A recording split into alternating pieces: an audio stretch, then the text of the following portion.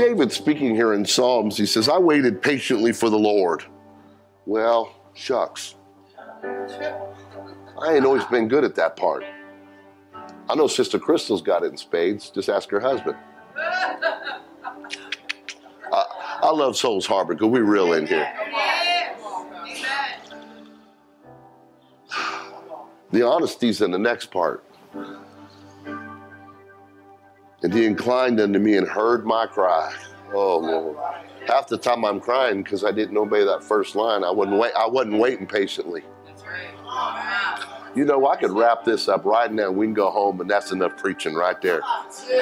If some of us who just learn to wait on God, or follow His rules, or follow His plans, we could eliminate that crying all the time part. But the psalmist is real because he says that not waiting part. It's kind of funny what he's talking about. The waiting part wasn't that he did it right, was because they did it wrong, because look where he's getting pulled out of. Listen, let, you got to read it, folks. And he brought me up also out of a horrible pit. That pit you got yourself in because you didn't wait. You weren't waiting because you were right with God. You was waiting because God and the situations you made got you in a situation. I got any real people know you put yourself in a situation. Well, he brought me up also out of a horrible pit. That's the situation that I put myself in. But if you read deeply, he says something else out of the miry clay. Because we're all born in sin and shaped in iniquity. We all got to face what we really are. He covers both of them the messes I make, the messes that fallen humanity. We, we all need saved from sin. In the depth of David's simple little psalm here, it's pretty deep and set my feet upon a rock and establish my goings. And he hath put a new song in my mouth. And if we would just. Problem is, we get excited about the wrong songs.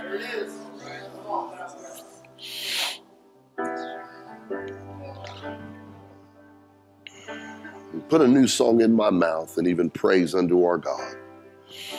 Many shall see it and fear. Now,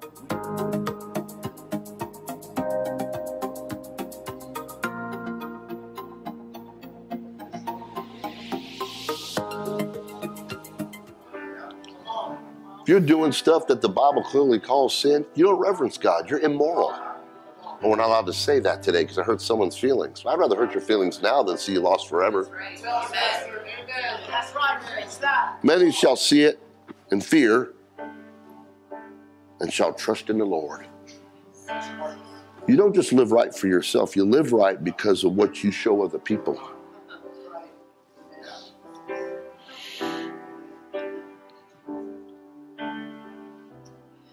I'm going to let you be seated. I have more to read, but let's place our Bibles down. And we only got a few moments together this morning and I'm just I'm just going I'm just going to be pastor. I, will tell you what, I, we got such a wonderful church of people. You guys are.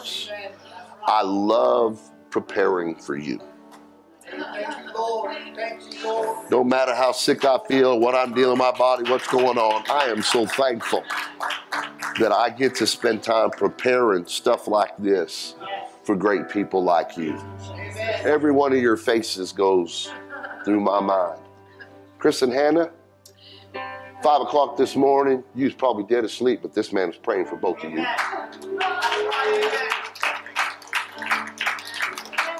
Larry and Nancy, too. Every one of you. I was sitting there thinking, just chuckling, devil, you're a liar. Sister Carol cares about me. Yeah, that's right.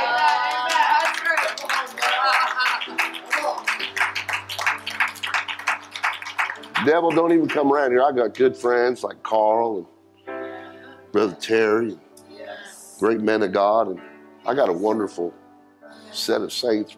Sister Loretta calling and praying, Sister Verdell praying for me. I love preparing for you folks. Let's go before the Lord in prayer. Jesus, we love you. We need you today. Lord, I ask that you help me bring forth this thought to help somebody, encourage somebody, maybe even correct somebody, to get someone on that straight and narrow way. God, help someone not only save their soul from eternity, but to save this life, God, from turmoil, trouble, and pain. Help us to rise above the situations and circumstances that we face because of bad decisions and because of our clay. We got bad decisions and bad clay, God. We need your help. We trust you. We believe in you and we rely upon you. And everybody said in Jesus' name. God bless you. Be seated. Now, I don't know what they're going to title this thing. I gave them a couple of titles this morning.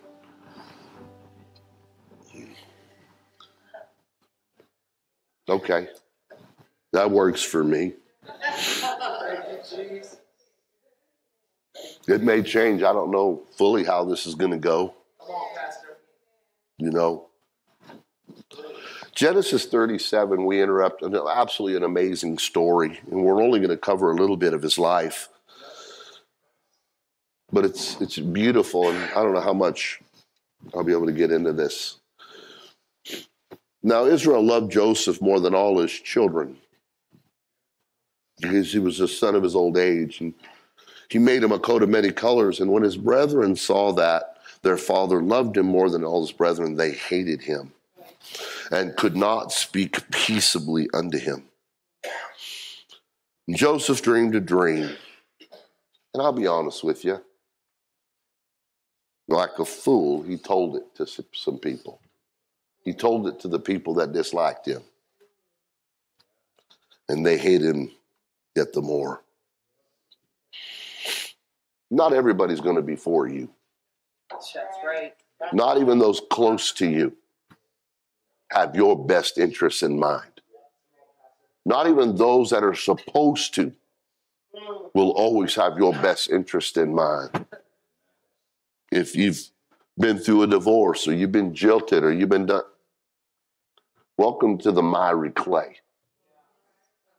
That's people. If people, if you're with someone that's flat gonna not gonna live for God, if they won't live for their creator, what do you think they're gonna live for you for?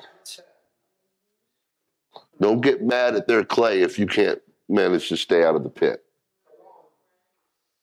We have some responsibility. Anybody have any dreams? Well, I hope you do. Dreams, careers, jobs, just aspiring to something. That's life. That's that's what gets us up in the morning.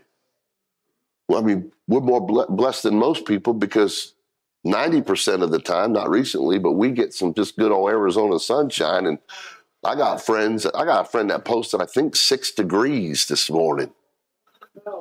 I was like, yeah, I'm smarter than you. I moved. Either grow hair all over your body or move. I'm not a bear. I don't. I I'm not gonna hibernate, and I can't handle all that snow. I'm gonna go where it's warm. I got desires for doing something greater with my life than just existing for a few years and grinding at the mill of the world and exiting. I've I've, I've got things I want to. I want my life to mean something. God wants your life to mean something. If you're fearfully and wonderfully made, that means you're made for a purpose. Anybody in here sitting on a chair? That was a tough one. That was a tough one, wasn't it? That chair was made on purpose for a purpose. That's right. It's made for you to sit on. There's a designer behind it. And if we could see that in a chair, how much more for ourselves? There's a designer behind your life, behind you and how you're made and intricately put together. Why would you settle?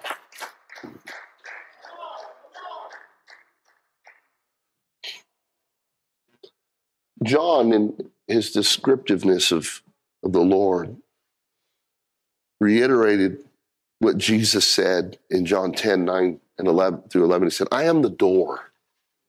Are you listening? By me, if any man enter in, he shall be saved and shall go in and out and find pasture. The thief cometh not but for to steal and to kill and to destroy. You're listening? I am come that they may have life and that they might have it more abundantly. I am the good shepherd. The good shepherd giveth his life for the sheep. Amen. Yeah. That's my Lord right there. That's my Lord. He, man, I, I serve a great God.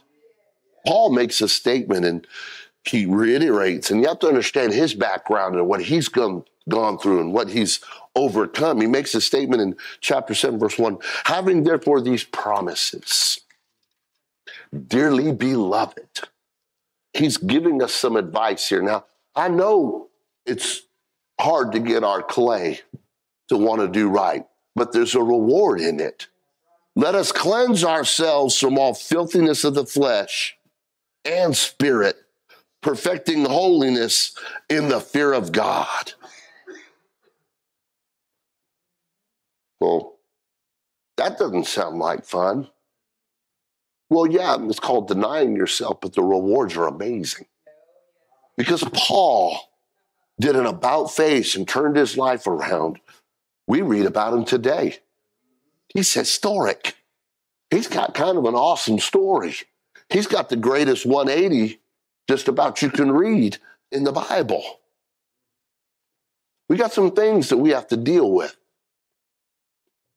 We may have to navigate some pits, and that's what I'm going to talk about today. But God's promises are sure.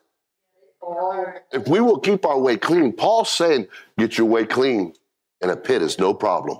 Yeah, that's right. That's right. Amen. Joseph's story is one full of pain. But it's that pain that reveals Joseph's integrity and brings about God's plan. And that's the point. We have to learn remaining godly in ungodly circumstances, staying faithful in frightening situations. That's, that's what it's, it's about. In Genesis 37, it says, And it came to pass when Joseph was come unto his brethren that they stripped Joseph out of his coat his coat of many colors. That's the first thing the enemy wants to do. It wants to get your daddy's markings off of you. He wants to strip you. Mm-hmm. And they took him and cast him into a pit. The pit was empty and there was no water in it. His brothers did that to him. Verse 30, uh, verse 29 of that same chapter. It says, And Reuben returned unto the pit. Listen to me.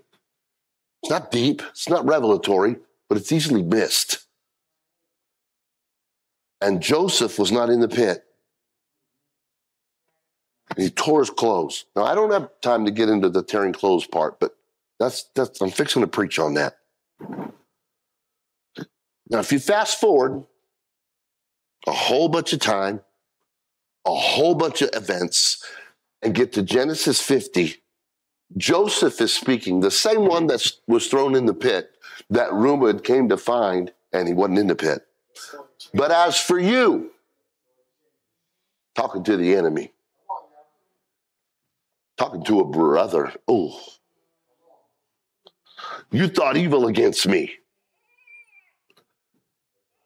But God meant it unto good.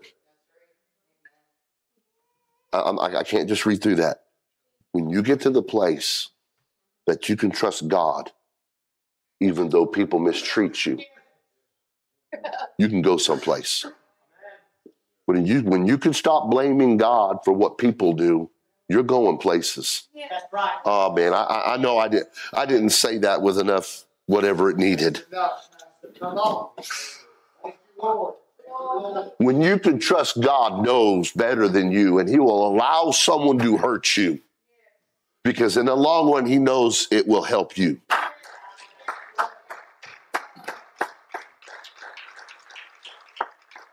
Some of us learned how to treat people because you was mistreated.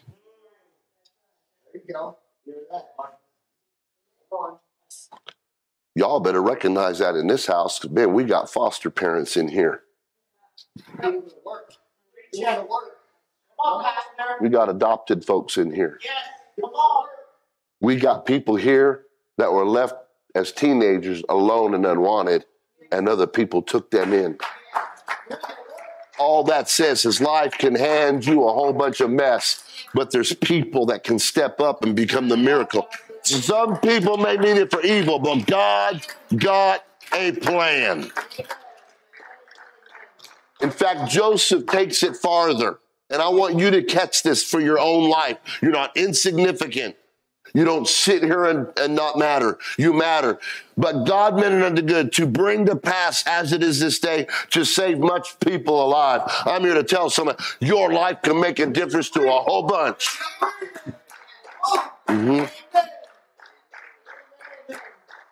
So when we read the story of Joseph, there are some things that cannot be denied because the scripture makes it clear that God spoke to Joseph in his dreams. And we got to handle, we got to navigate some of this. Let's get your mind wrapped around it. Joseph was chosen by God. Joseph was anointed by God. Joseph had a destiny promised to him by God through his dreams. Joseph was not only favored by his father, he was favored by God. Now, see, sometimes we start thinking, oh, I got an anointing. We think all of a sudden that, that sets before us a, a clear path.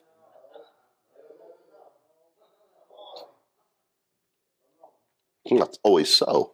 But we can deduce that God was with Joseph and that God has a plan. Joseph was given specific dreams by God. And thankfully, Joseph believed those dreams for his life. Sounds like a winning combination. Sounds like, hey, this is pretty good. And judging from the criteria criteria that we would place on it, looks like Joseph had it made. Favorite son, dreams from God. Look out. He loved God and God loved him, right? How do I say it? Should be all rainbows and roses. Got the Midas touch. Silver spoon in his mouth. No problems. But between Genesis 37 and Genesis 50, we find out that this same Joseph, who had everything going to, for him, who was favored by God, who, who was favored by his earthly father, who had all these advantages, found himself in some pretty bad places. That messes with us. You're at home and you're doing what you do as a husband or a housewife, as a child, and when it all falls, flies in your face, when you realize all this stuff going for you doesn't eliminate problems in your life.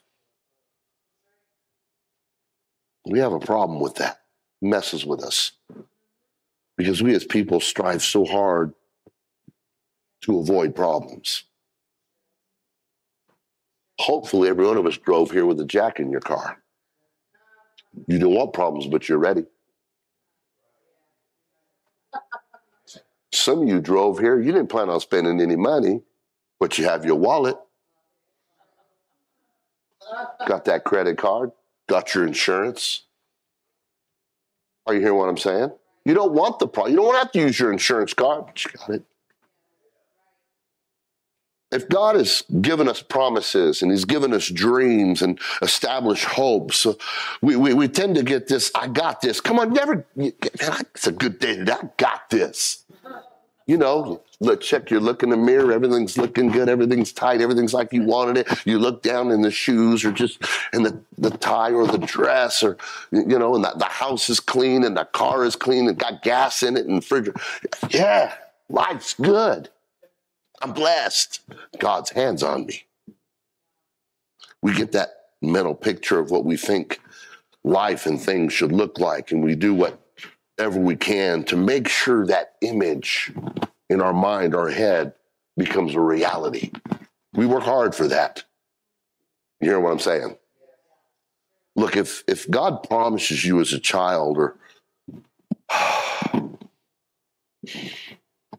He promises you some things. You you start doing your part. It's normal.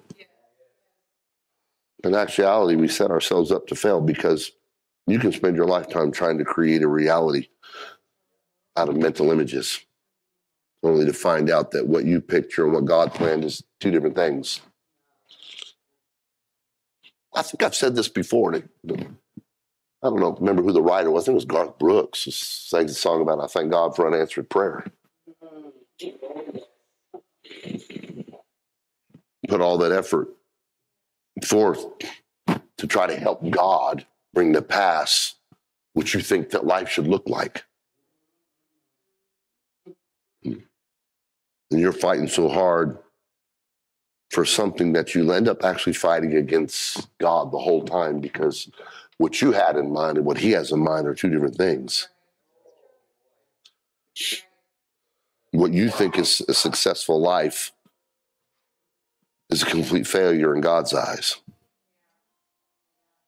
Matthew 16 26 says, For what is a man profited if he gain the whole world and lose his own soul?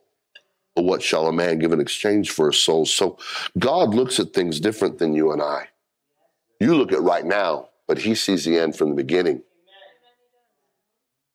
One day, because of circumstances, Joseph found himself in a pit. He found himself in a hole. Not exactly made the radar of his dreams. Didn't exactly look like the picture of success that he had, right? But understand this one thing today that Joseph's dad had sent him to do what he wanted him to do. He was obeying what his father had instructed him. And he ran into a stranger in the field, and the stranger even directed, No, your brothers are over here. So he's following and doing everything appropriately in his life. How things were going. Joseph's angry brothers saw him and found him. And when they did, we know it was his brothers that threw him in the pit.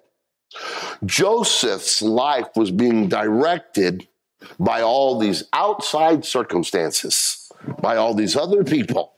And I'm pretty sure when his own brethren laid their hands on him, he was pretty worried that, oh no, these guys just derailed God's plan for my life. This situation is going to end all the promises that God has for me. These people have just set upset God's apple cart, and now the dreams aren't going to happen. Nothing's going to go my way. These people, my brethren, have just ruined my life. Come on. Come on, you've been so mad. Some of you have been so upset. You're ruining my life. You're about to lose it when the finances aren't there, or the job quits or fails, or health leaves you, whatever circumstance is your pit, you look at that. How? What are you doing? You're ruining what God's trying to do. I'd like to say that the enemy had Joseph right where God wanted him. The enemy, Joseph, right where God wanted him. And I, I want to stop here for just a minute and tell you if somebody told you when you become a Christian that all your problems would be over and that you would never hurt again, that you'd never cry again, that you'd never suffer, that you'd never be hurt or ever get sick, they lied to you. Let me tell you about trouble. The Bible is clear when it comes to trouble. There will be many that trouble you. That's the scripture. Your life is a few days and full of trouble. Because understand, we may create problems, but just being clay has problems. Remember David's song. But also, the Lord is an ever present help in trouble. If He's an ever present help in trouble, means He understands we're going to have can we say trouble? The psalmist goes on to say in Psalms 34 and 19, Many are the afflictions of the righteous, but the Lord delivereth them out of them all. The point I'm trying to make is that Christians, people, we, we're going to have problems and you're going to get into trouble, but God can deliver you out of the trouble. You're still going to get sick. You're still going to lose jobs. You're still going to fail tests. You're still, you're still going to have broken hearts. You're, we still die. We still get in situations we shouldn't. We still find ourselves in situations that we don't want to be in, and ourselves in situations we never dreamed we'd. Sometimes you fall in.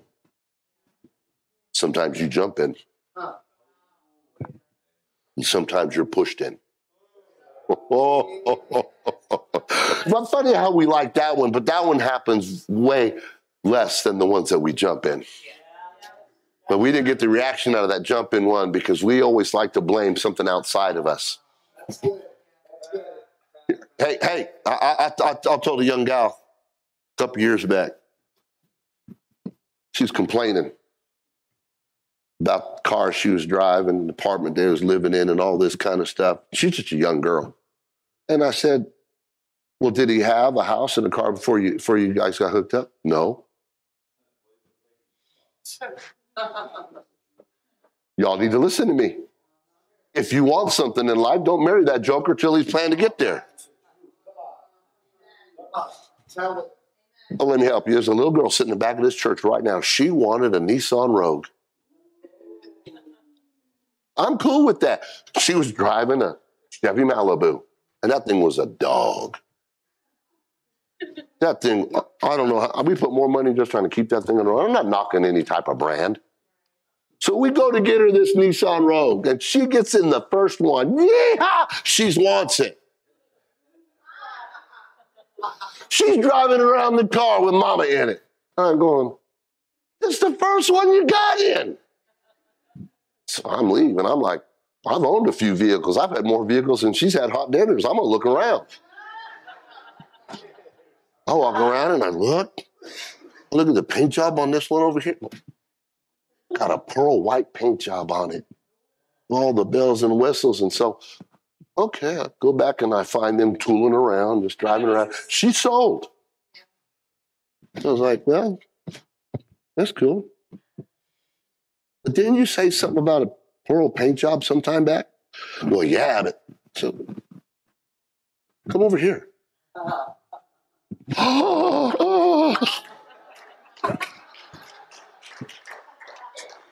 Some of you, you need a pastor whether you like it or not. The problem with some of you is the moment I, the moment I try to put, I want this one. You don't even want to check. You don't even want to. No, I cannot. But thank God she was like, what? What? What? The one with the pearl paint jobs in the parking lot right now. Just because she took the time, he might know something. Hello. You need to listen a little bit. You, you need to understand that the church and the pastor is not trying to hurt you. It's trying to save you some hurt. Life is already full of trouble. You might want to listen to some people. You might want to listen to, you know, uh, you know that may you may like that guy, but if he ain't got his act together by this time, he's probably not gonna. If she can, she's probably never gonna. Especially if they won't submit to the very plans of God.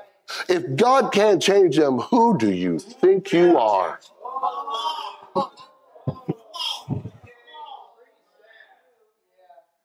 Great looking around the room. I'm talking to you.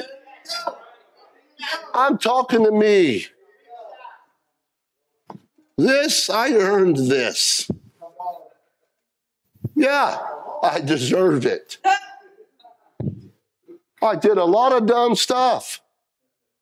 I didn't want to wait. I thought I knew. I didn't seek God. You know what the Bible says? It's better to not vow than to vow, vow and break it because once you make the commitment to vow, you need to hold to it. Look, if you're uncomfortable in here with this kind of teaching, then you're a dishonest person. You should. Why do you require so much for you, but not require the same of you? Again, sometimes you fall in, sometimes you jump in, and sometimes you're pushed in. It doesn't matter, but you're going to find yourself in.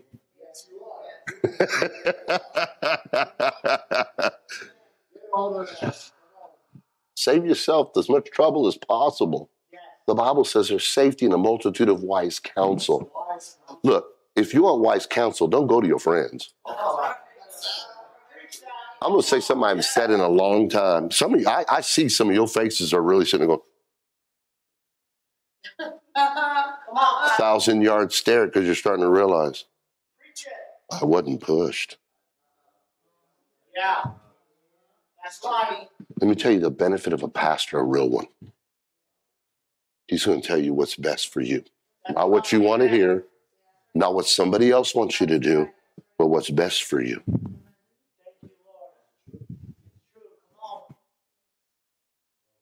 And I know it's going to be comfortable.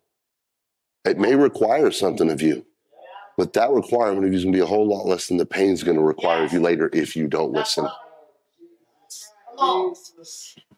We, we got some smart people around here. You got a problem with a vehicle, I can point you to some people.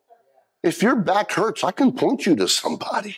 If you if you need some, there's because they've learned. Can I help you? You don't have to go through life and learn. You don't have to hit every bump because you want to learn it. You don't have to bang your head because you haven't learned how to duck. Let someone tell you you need a duck there. You need to. Preach it. Come on. Oh, that's good. If, look, if you're talking about getting married, you better talk to some married folks. Don't think, oh no, not you. Yeah, you. Hey, kids. You you you, you have every reason to be the most successful because we've already made all the mistakes we can keep you from. But you got to be willing to listen. You know why they're saying amen? That's enforced by the mistakes.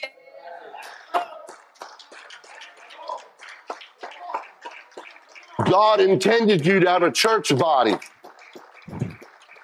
Hey, girls, you got a guy you like? Run it past some of the men here and listen to their honest opinion. What, you you can't keep a job? That's a bad sign. Come on, Pastor. Preach. Come on. He don't he don't talk to mom good or dad good? Wait a minute, she she does what?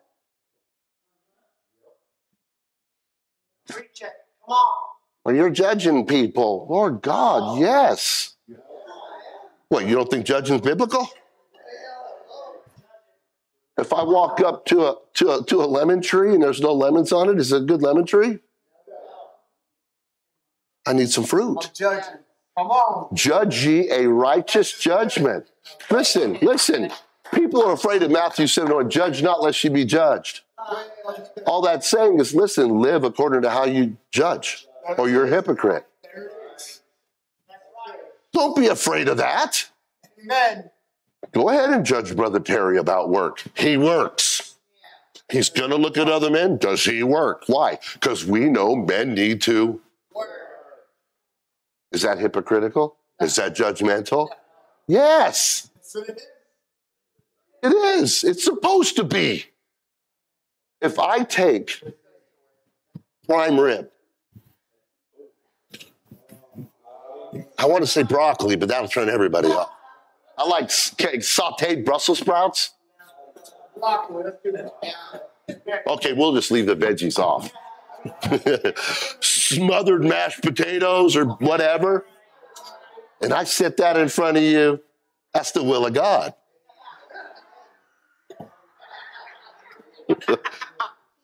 it looked right.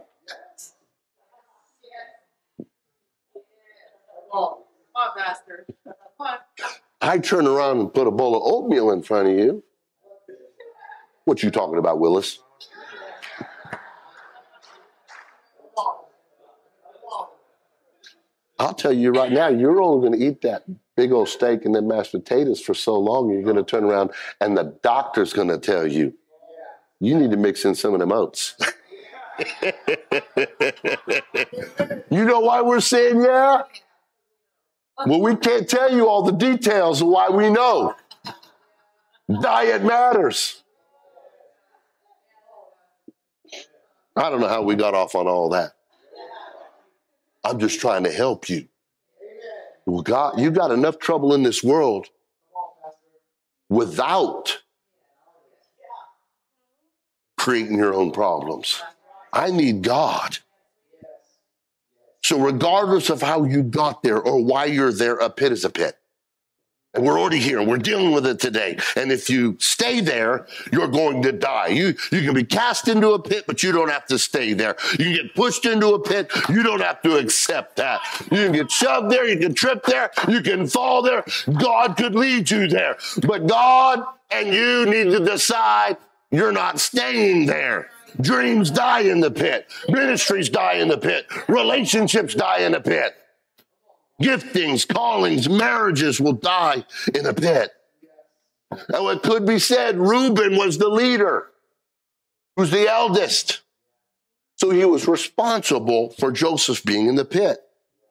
Now, we like to point to that reason rather than the remedy. You think you're okay staying in the pit if you can point, Reuben put me here. I'm here because of this. I, I, I'm here because my ex cheated on me. I'm here because my mom and dad didn't love me. I'm here because.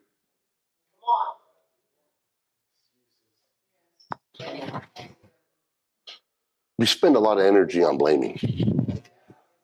We want to blame the reason. In, in fact, I've witnessed people waste most of their lives blaming instead of becoming. I've, I've watched people waste their lives pursuing revenge rather than pursuing the remedy. We focus on the pits of the past instead of pursuing a future. We settle for the pit. In, in fact, some of you mingle around and decorate your pit. You're, you're trying to, you're, you're making the pit a place to stay. Instead of like, you know, this is a mistake. That this th- this isn't where I want to be. I, I, I, oh, I'm going to say something about.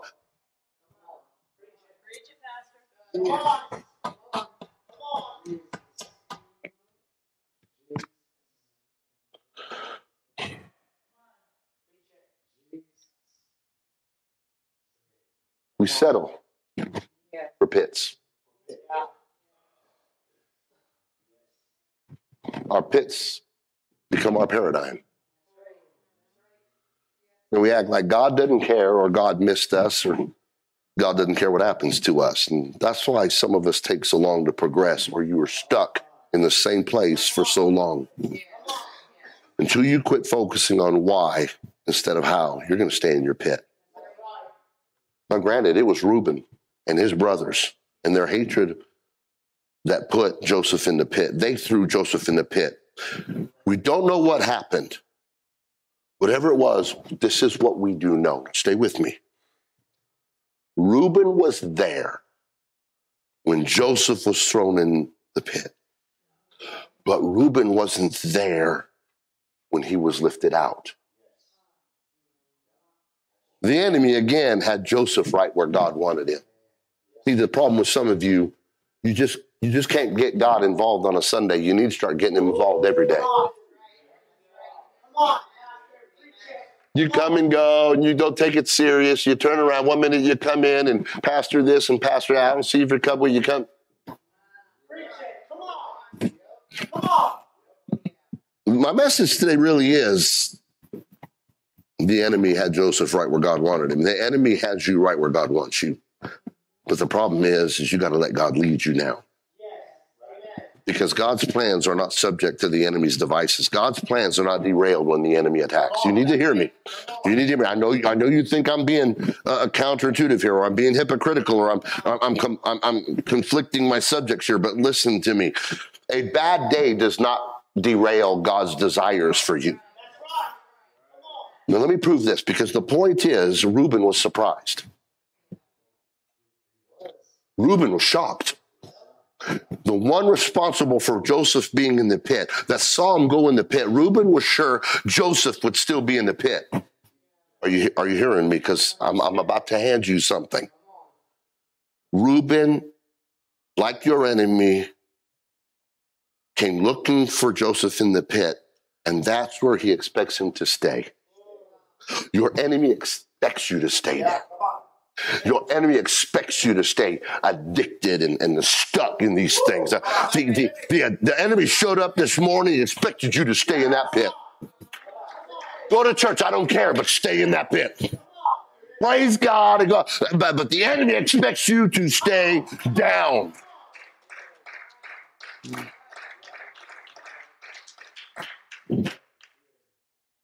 If you always do what you've always done, you're always going to get what you always got. If you're always willing to settle, then you're always going to have to settle. The problem is, are you okay with staying down? Are you okay with staying in the pit? Yeah, wait, Reuben saw him struggling, maybe even had a hand in it. I, I, I, just, for some reason, see the older brother watching the younger one try to get their digs in because they outnumbered him. And I wonder, as those other brothers just manhandled him, Reuben standing there, if if if if, Joseph in, in, in the hierarchy looked at his older brother as they grabbed him and manhandled him and were throwing him, and it looked at Reuben and said, Hey, I looked up to you. I looked at you like a protector. You were my brother.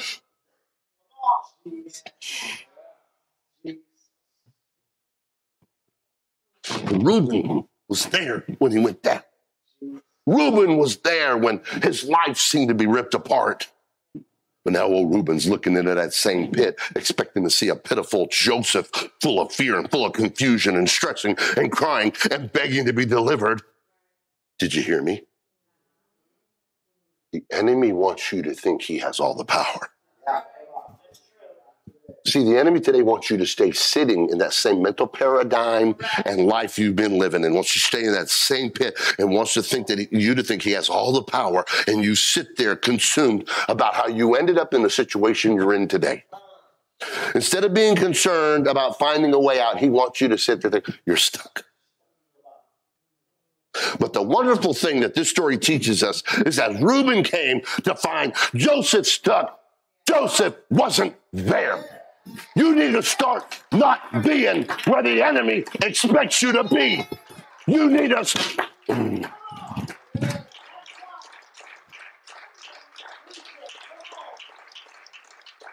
I know there's people going through some stuff here today. I know it.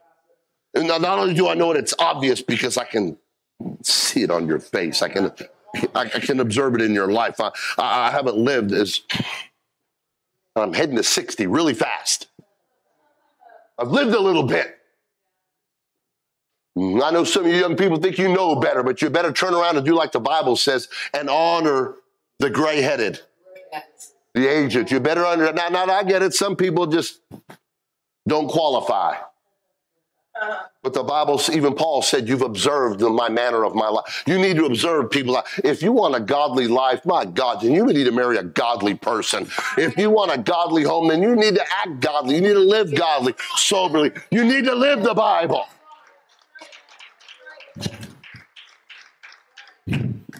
All I have to do is to listen to what you say and what you talk about and watch the way you act. And it all tells me there are some things that people in here need to overcome. Listen, you can be healthy and be in a pit. Samson was in a pit. Samson had the power to. You can be wealthy and be in a pit. Ananias and Sapphira. You can be wise and be in a pit. Look at Solomon. Listen, stop saying we're not immune to pits. We're going to be. Sometimes life's the pits. What did Erma Bombeck say? If life's a bowl of cherries, why am I in the pit? Some of you don't even know who that is, and it's okay. The problem is the pit's not the big deal. Your mentality and your attitude is. Oh, God, if you get an email on that one today and hear what I'm saying. Some of you wear your pits and problems like badges of honor. You're addicted to your pit. You, you, you, you think that every time you come to church and every time you gotta, this is the problem I got. No, it isn't. It's the pit you chose to stay in. That's right. Some of you coddle those pits. You defend them and you foolishly fall in love with them. Love's a verb, it's an action.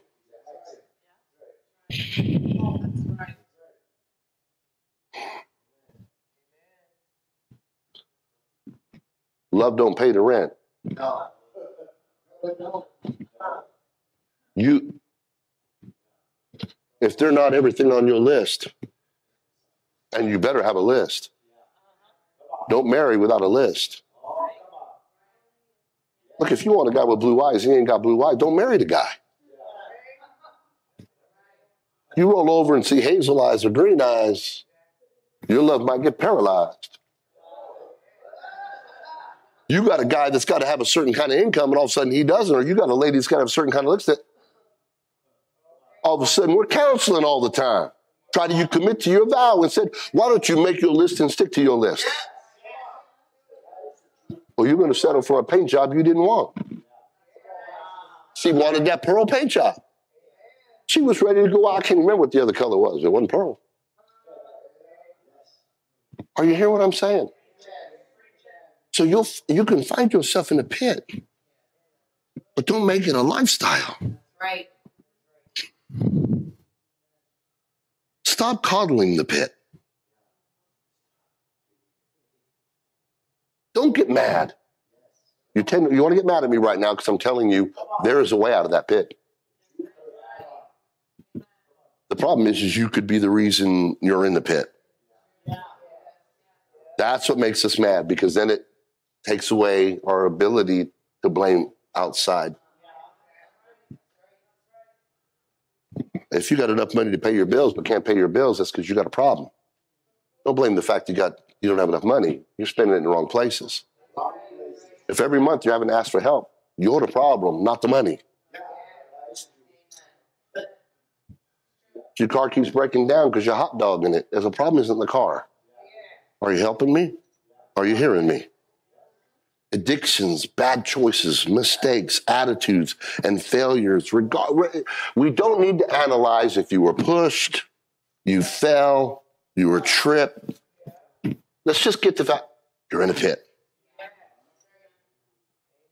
A pit is just, let me simplify this to help you. Another way of saying, I'm lower than I've ever been. Or I'm not where I thought I should be. Can, can, can we do that today? Anybody ever have anybody help you out of a pit? They watched you struggle and helped you out. They stepped back and saw your pain. They observed you scratching and clawing and trying to climb your way out. Yeah, I'm in a pit.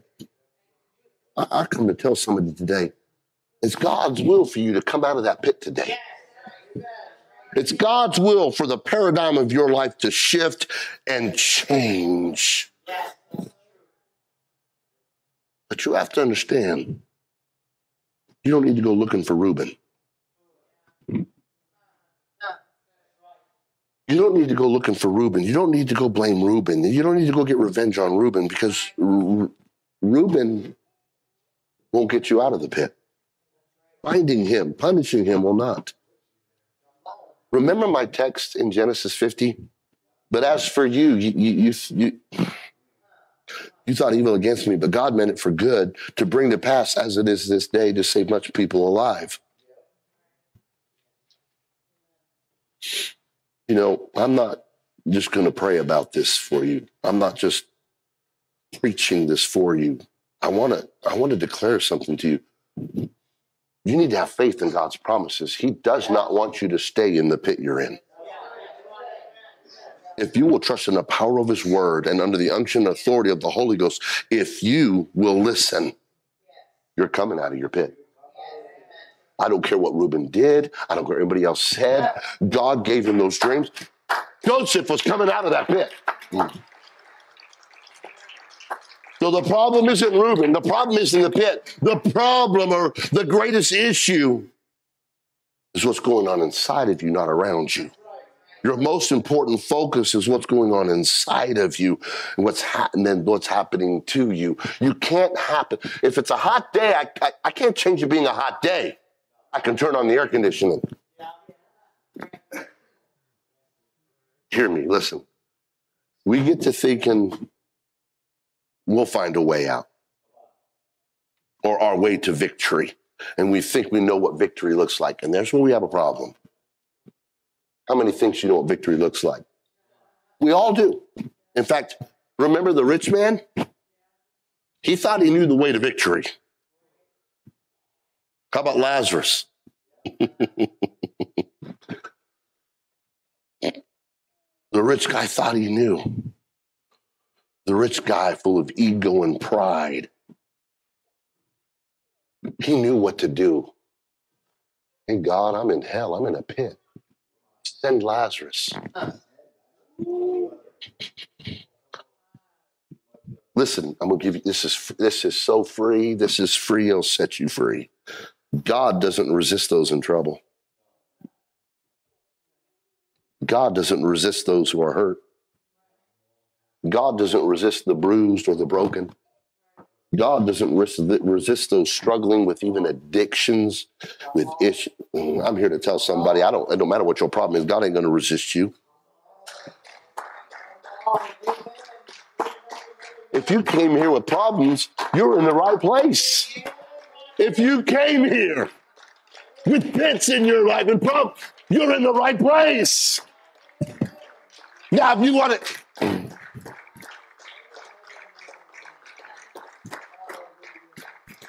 I, have got to cover this because there are people God resists. Matthew 9 tells us, and it came to pass as Jesus sat at meat in the house, behold, many publicans and sinners came and sat down with him and his disciples. And when the Pharisee saw it, he said unto his disciples, Why eateth your master with publicans and sinners? But when Jesus heard that, he said unto them, They that be whole need not a physician, but they that are sick. Jesus gave us an insight as to his viewpoint of humanity. He's looking for those who want him. Those of you thinking about relationship, look, if they don't want you, I don't care how much you love them, get out. Stop playing. Stop. Look, it's it's fact. Anybody ever been married and then not? And two most dangerous things that don't work out a lot of times is intention and potential. But she's going to be a great. If they don't love you, don't matter. Jesus let us in on a point of view. He's looking for those who want him and who desire him. Those of you that sit here, this is going to get sensitive. And you're all saved and you don't really need Jesus. You got it all together. You, you're intellectually smart. You, you got a great job and a great career. You got what? You got everything that you. I really don't need to get. I'm saved. I, I don't need Jesus every day. Anybody that's married here not want to be needed every day? I don't really need to pray. Next time I have a need, since I got everything, I'll, I'll talk to Jesus later. I, I don't really need to praise and worship. I don't need to be passionate about this like all those other low lives.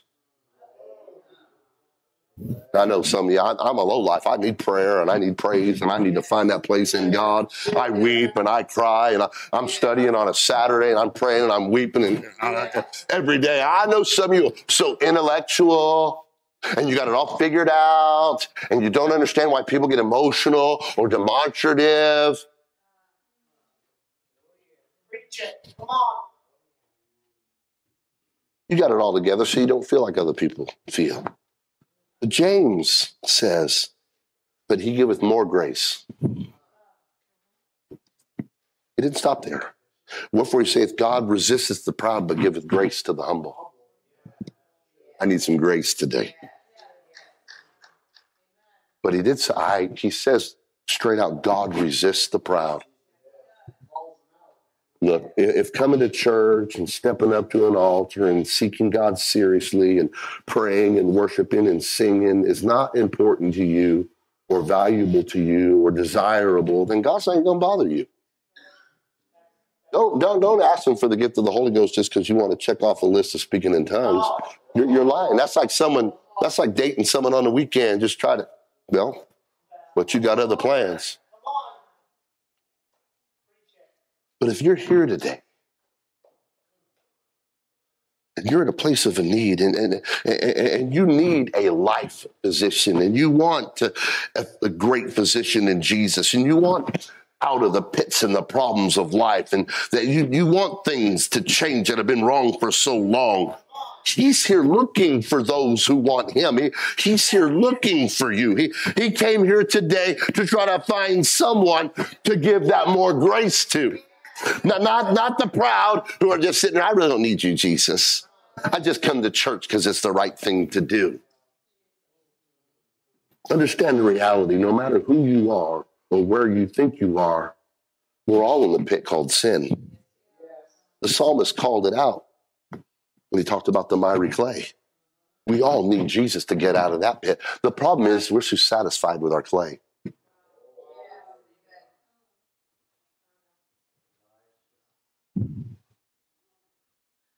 But you have got to get outside, get out completely, your mind, your body, and your spirit out of the pit. It's just, listen, this may get too detailed, but if you just want to show Reuben or whoever you blame or whatever you blame that you got out of your pit, if that's your life focus, you miss the point. Right. If all Joseph wanted to do was run around and find Reuben and say, Look, I'm not in there, you may have been out of the pit, but you're still where the pit is. If Joseph's focus was so much on showing everybody he got out, then Joseph never would have made it further. If he would have just, if, he was more consumed about, about fulfilling his dreams and letting people know. If proving to everyone else your dreams are real, then you've wasted your dreams. If all you're doing is posting on Facebook what's going on today and you have no goals for tomorrow, and your biggest thing is that, oh, I got to, but you don't, ah, you want people to see a temporary success, not a complete one. If that's where you're at, then you probably failed. Oh, are you hearing me? If having the image of what, or wanting people to think you're successful is all you're wanting, then you'll probably never really get there if you're more concerned about letting everybody know you've got a potential of a great job or a potential of a great spouse, you look good with the potential of it. You look good from the social standing of it. People think you're successful because you're just creating the image, but you're really not getting out of the pit. Can I go old school for just a minute? The Lord said unto Samuel, Look not on his countenance or on the height of his stature, because I have refused him. He's resisting. The Lord seeth not as man seeth. For a man looketh on the outward appearance, but the Lord looketh on the heart. The real issue is how's your heart today? Who cares about the pit? How's your heart? That's where your treasure is. God called you out to stand on mountains, not people. Yes, Yes, yes. If your greatest success is your life is just a little bit better than somebody else's, then your life is just a little bit better than somebody else's. And you're standing on people when God created you to stand on mountains. That's right. That's right. Amen. Oh no. I let the cat out of the bag this morning. I, I kind of, maybe that was too painful for somebody. If your go to thought is how people look at you or perceive you, then you've missed life. What good is being the rich man if the instant you're on the other side, you're the one begging. The rich man had bigger barns and he had everything he could want. And God said, You're a fool. And then when the rich man died, he said, Send the beggar to tell that beggar, the beggar's with me. I'd rather be a beggar here and beg it there. You see, you see, see, you, you could be look like success to everybody on the planet. But if God looks at you as a failure, does it really matter? You're, you're, let me get back to this. Quit living a life that you think are as impressive to people. I'm getting you off the hook here. Quit worrying about what other people think about your life. We're all in different chapters. I've been sick, told to go home and die, broke. So some of you think me preaching this is I'm disconnected, I don't understand you. No, not only do I understand you, I'm here to tell you you don't have to stay there.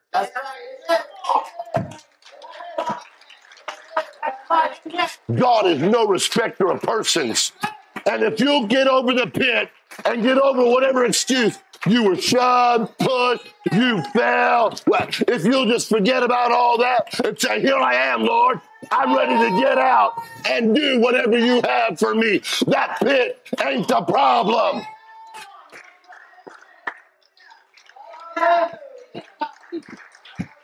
The pit's not a big deal.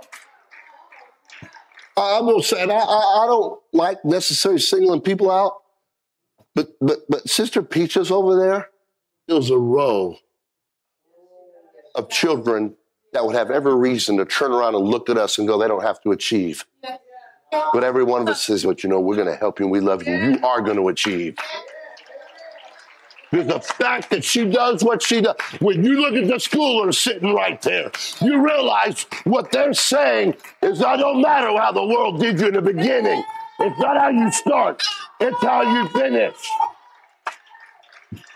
And I turn around and I see that kind of stuff, and I see some of you sitting here. I'm telling you, the devil's a liar, the world's a liar, but God has got something greater for you if you want to get out of that pit.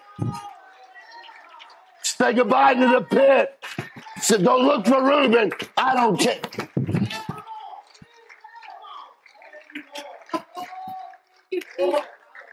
I don't even know how to say this. I don't know how to say say this. I really don't.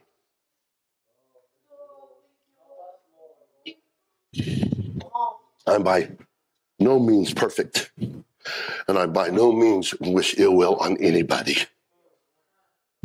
I, I thank God for His grace and His mercy, and and and no doubt I have been the banging of somebody else's existence. I have been what they consider probably the worst thing on the planet. I'm pretty sure there's someone out there that's willing to say whatever. But don't we all have that we could say? Mhm. Years ago, I'm standing there with my children. I've gone through a horrible divorce. I, I literally almost took my own life. Not proud of that fact. But when you work as hard as I worked to do and to be what I was, to come from what I came from, it made humanistic sense of why go on. But what woke me up was I'm standing there with my two children who chose to stay with me. They wanted to hand me the phone. I said, Who is it? It was their mother. Why does she want to talk to me?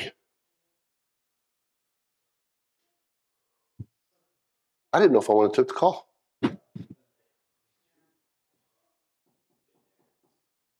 I said, okay. Hello? I start getting all these questions. I almost felt like I was married again. what, what is this? What do you? So she starts asking me about my personal private life because my children told her, well, dad's got a lady calling him. This is two years after. Now, hold on. I thought I was never getting married again. Nothing against you ladies. You guys are absolutely awesome. I just didn't trust me. I just not a good picker. I wasn't either. I'm better. I'm better at the nose gold than the women. Yeah. Some of you will get that. I, I was like, no, I will never. I, I preacher calling me, inviting me to Come. I had one preacher invite me. I couldn't preach for him. Next thing he, he's a young guy, young guy. He was trying to hook me up with his mom. I cornered him in his office. I said, I was going to give him the Fred Sanford. I can put this across your lips. Some of y'all don't even know what I'm talking about because you're young, praise God. But I was raised in that. Uh,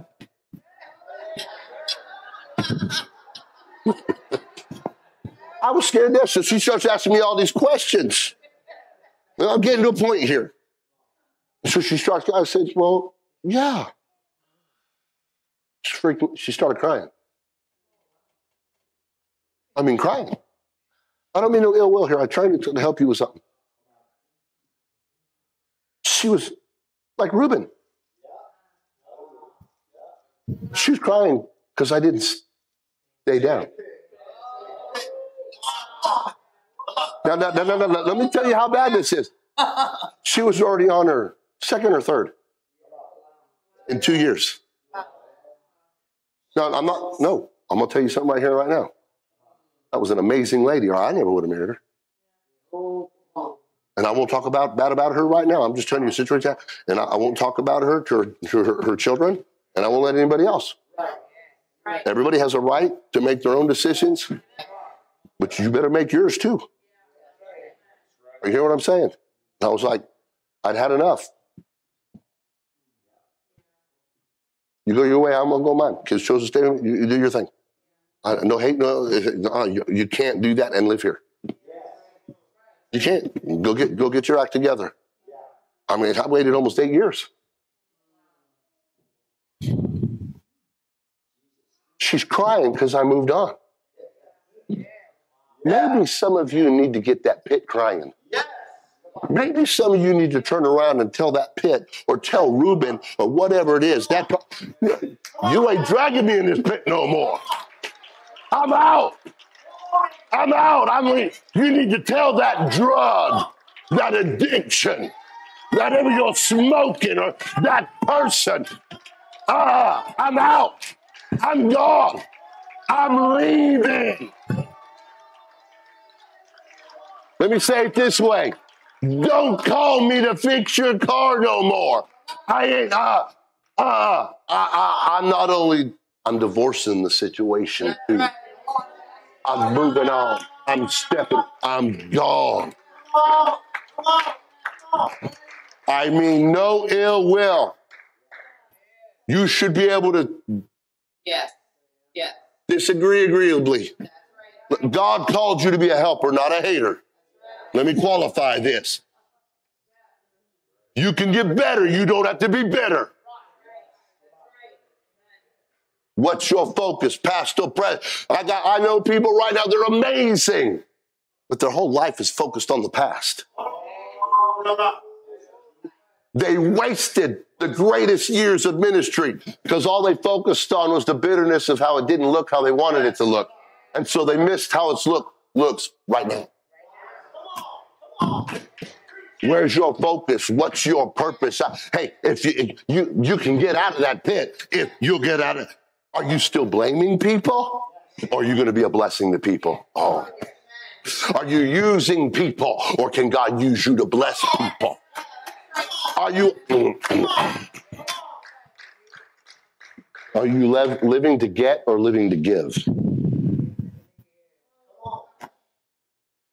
Oh God. I don't know what your pit is. They come in all different shapes and sizes. I, I, I don't know what that pit is for you. But I, I, want you to s- say right now by faith, weeping may endure for a night, but joy. I'm not staying here. There's a promise on the other side of this pit. I'm not camping here. I'm not parking here. God's got a plan. I'm getting up out of here.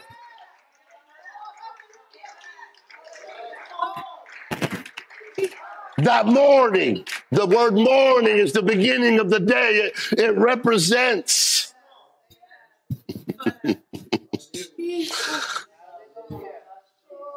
It, it, listen, it doesn't even represent the next day. It represents the day you get it right in your head and in your heart. You could be sitting here today and even standing and, and, and getting with me on this message, but until you get this in your heart and in your mind and change your life, you're going to be stuck in the pit. Reuben came back to the pit where he last saw Joseph, and Joseph wasn't there. It says in verse 20, and Reuben returned unto the pit, and behold, Joseph, listen to this, was not in the pit. And who rent his clothes? One of your greatest victories is when your enemy expects to find you in the pit and you're gone. You left because you're not stuck. Did it hurt? Yes. But God can heal me. I'm I'm not sitting here. I'm not going to blame you. I'm not. I'm not going to. I'm not going to. You're not going to come back a year later and find me in the same place crying about how you did or what you did or what they did or how come this. I, uh, I'm going to move on from this. I'm going to carry on from. If you're still wanting the haters to see you, you're still in the pit in your mind. You're trapped by the insignificant. Listen to me here. David didn't want anything from Saul. Listen to what I'm saying here. David wanted nothing from Saul. He didn't want his armor. He didn't want his weapons. He didn't want his stature. He, did, he, he didn't want any of his stuff. Saul tried to drag David into Saul's pit by connecting him with Saul's stuff. Stop. You don't need what somebody else has. God can deliver you for you. This is why you got to have a man of God in your life. You need a pastor. Stop decorating and dressing up your pit to make it look, yeah, we're good. Stop trying to make it a permanent place. Start saying, you know what, you know, this isn't all there is for me. I don't know, maybe, maybe you're not getting it. Some of you are buying drapes for your pit. You're dressing up a dangerous situation. You're dressing up a situation that is never going to work. Stop making the pit your place. If you want out, right? Reuben purposely came back to the pit looking to find Joseph. Joseph, as far as Reuben was concerned, was going to be found in the pit. Are you hearing me? But Joseph wasn't there. Do you realize Joseph didn't see the moment that Reuben had? Joseph did not go through what Reuben went through.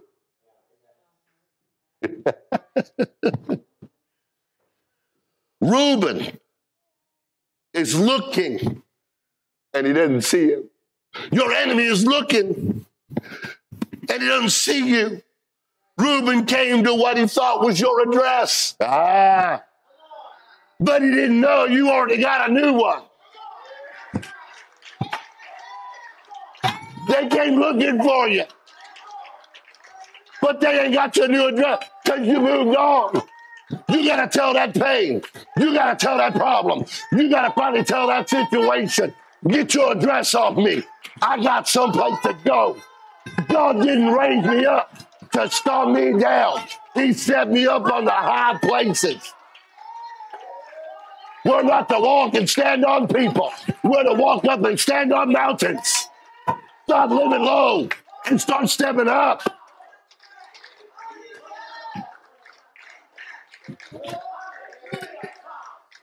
Quit worrying and making sure the devil sees you get out. Trust me, he knows where you're at.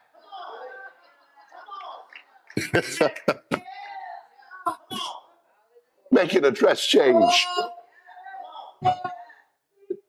Had some people been plaguing us for some time. Wanted to see this church die. Wanted to see us got mad because you know, church, I'm gonna hold a standard. I'm gonna tell you if you're gonna go to a job, you need to be best worker right there. Is, that, is there something wrong with that? I'm gonna say, hey, if you're gonna be a husband or wife, then you be the best one. That's a good standard. Yeah. Is that okay? So if you're gonna live life, you, you need to have a standard. So they didn't like the fact that I expected a high standard. They left. Oh. They still blow up my phone with a text now and then. I don't respond. You got my phone number. But what happened was funny just recently. How many knows that we moved? We moved. We, we, we, got a, we got a new real physical home address. And so they like to reach out every now and then, just let me know they're still there. Like, uh, we, we, we got a call from a delivery place the other day. Hey, we got a delivery for you, but we don't have the right address. That's right, you don't. See, some of you need to turn around and tell your enemy, and I ain't giving it to you. I don't want what they're sending. Keep it. I don't gotta have it. I don't want to be connected to it. I'm out of that pit, and I ain't going back. You gotta learn to tell something. Walk on. Move on. I'm going somewhere. God gave me dreams, promises. I'm going there. I'm not staying here. It's time to leave the pit behind. Time to leave the addiction behind. It's time to leave some of those issues behind. It's time to leave that language behind. It's time to get that music behind you.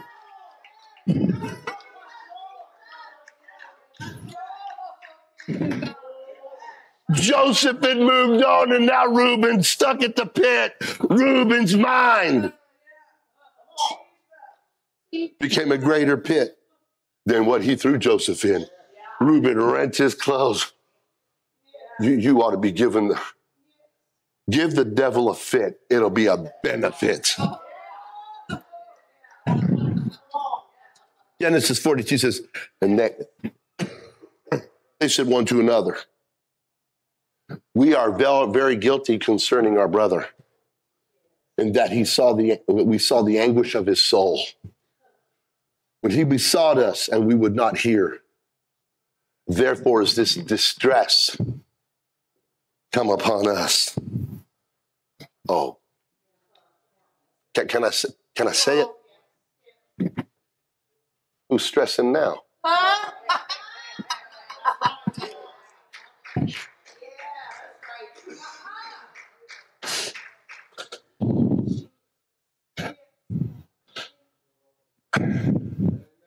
It's not whether you see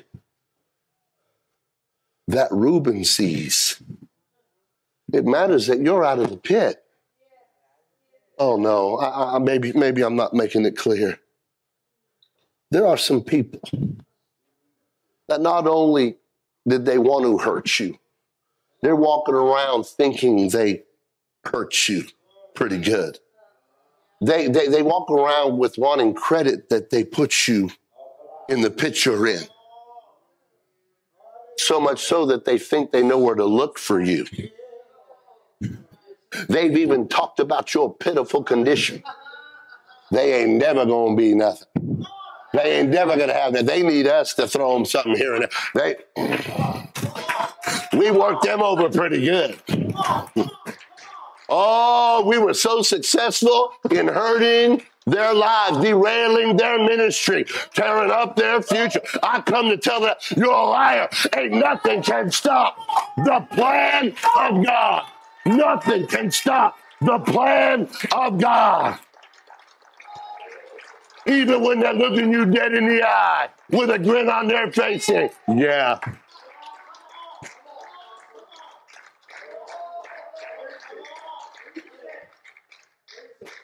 Yes. Are you hearing what I'm saying?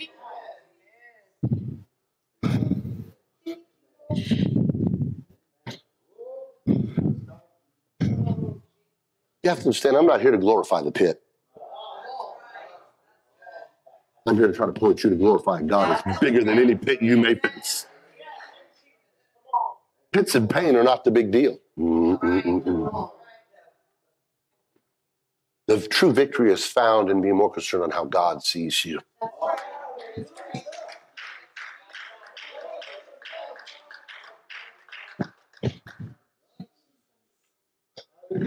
There's a statement that was made. I, I wanted to preach about it, but I ain't got to it yet. And I'll just maybe give you a little prelude or blow it all together. There's a statement that was made about Jesus, and, and, and then they said, Nazareth, can anything good come from?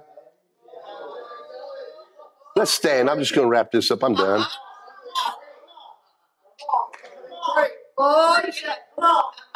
Who's hearing me right now? I'm, I'm done. Come, come, come to the music. Find something. Some of you live right there in that pit. Ain't nothing good going to come from that. That's why they left you. They, they're looking for something better than. They want something better. They gonna find someone more anointed. Don't worry about the pit. Worry about a better destination. That, that, that job that let you go, that's all right. You put me in a pit. Watch what God. Watch what God's fixing it. Mm. See, see, see, don't curse, don't curse the pit. Glorify God. Don't curse the problem. Glorify God. Don't curse the darkness. Light a light.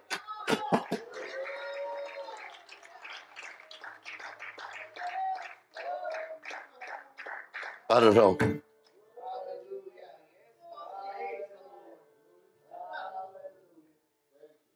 Joseph wasn't thinking about Reuben. Joseph was like, Yeah, yesterday I was in a pit. Yesterday it looked like I was going to perish in the pit. Yesterday I even felt like I was going to die in that pit. Felt. But God, but God, but God it. Mm. Your fall doesn't have to be fatal. The pit doesn't have to be the end. You don't have to be finished. Don't decorate the pit. You're not staying there. You see, I got to thinking about this. And I know I said I'm won't finish, but I got one more.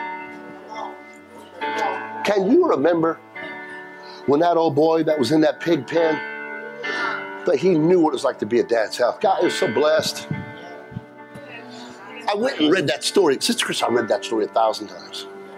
Corey, I, I love the story of the prodigal. I preach it all the time. I love it. I, th- I think it's a picture of all of us. Yes, yes. Brother Terry, I don't think he sent in a two weeks notice. I don't think he turned around to that employer that hired him to take care of those pigs and say, well, I better go ahead and honor this guy that's got me feeding these pigs and give him my two weeks. Notice. I'm going to stay in the pit two more weeks. That's good. That's good. You need to quit thinking you owe your pit anything. That's right. You don't owe your past. That's a lie. You don't owe your problem nothing.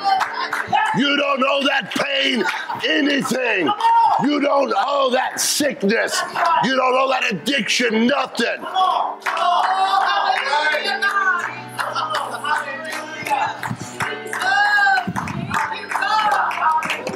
was when he came to himself. I'm not mad at the guy that hired me. I'm not mad at the pigs. I'm not mad at the slop. I'm not even mad at the money I wasted. When he came to it, when he, oh, if I take responsibility I can take action. And it says in Luke 15 and 20, three words. And he, one, he arose. He climbed out of that pit he dug. He wasn't looking to put blame nowhere. And he started making his way back to dad's. oh, God's got a better plan than me. I don't care if you fell. I don't care if someone pushed you. I don't care if life placed you. You can get out of that pit and get to daddy's house.